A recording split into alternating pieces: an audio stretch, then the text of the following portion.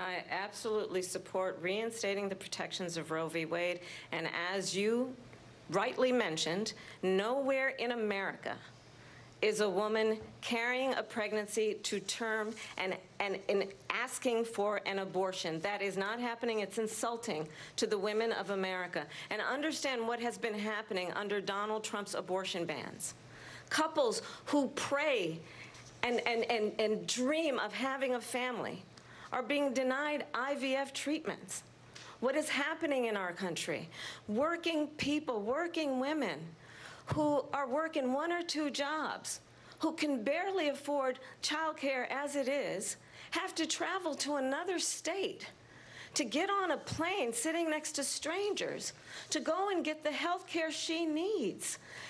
Barely can afford to do it, and what you are putting her through is unconscionable. And the people of America have not, the, the majority of Americans believe in a woman's right to make decisions about her own body, and that is why in every state where this issue has been on the ballot, in red and blue states both, the people of America have voted for freedom.